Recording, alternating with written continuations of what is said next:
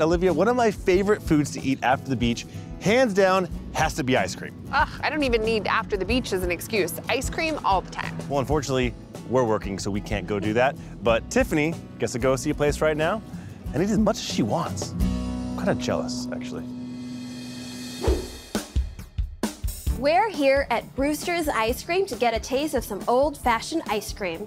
They call themselves a scoop above the rest, and for good reason. They have a home-style mix fresh from the dairy and delivered to each store, so their customer gets to try a premium flavor just like the good old days. Hello? You must be Tiffany? Yes, I heard you guys offer free samples, so I just couldn't help but start sampling myself. Well, I'm glad that you did. We have so many flavors. We make our ice cream in-house every day, and we have about 30 ice creams, and plus we have ices and sherbets as well. I believe that was a Graham Central Station, and that might be the best thing I've had in my life. It is amazing. It's definitely one of our best sellers. It's Graham ice cream with swirls of Graham crust and flakes of chocolate.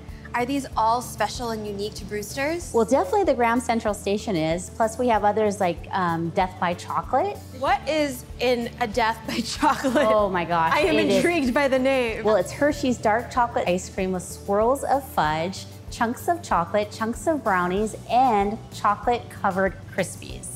So, Leslie, when I first came in, I was a little bit confused. I didn't know if I should have come inside, ordered outside. Oh, it's definitely a walk-up window where you order from outside, get your treats, and then um, we have outside seating where the customer can enjoy the day. Now, when I walked in, it smelled delicious. What is that smell? Those would be our freshly made waffle cones, and they are delicious. That makes the ice cream taste so much better, right?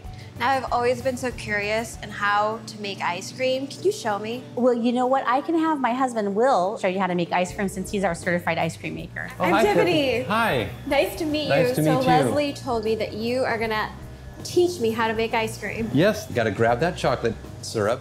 Okay, so Okay. you just pour it into the machine. Look at that fudge. You're, you're a pro already. this is the cream. You got to pour in that. That's heavy, so. I am a professional ice cream eater and maker now. So and then you press just that. turn that on, and now we'll wait for it to cool down and freeze. Once it's ready, we're going to add the flavor so that it so that it mixes into the ice cream. That's good. Okay, that's good.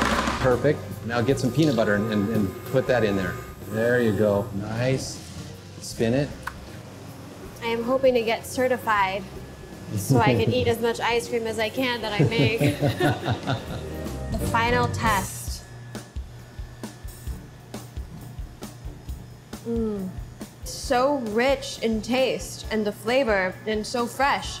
Thank you so much, Will. I am officially a fan of Bruster's, and you know what? I'm just gonna take this bucket. All right.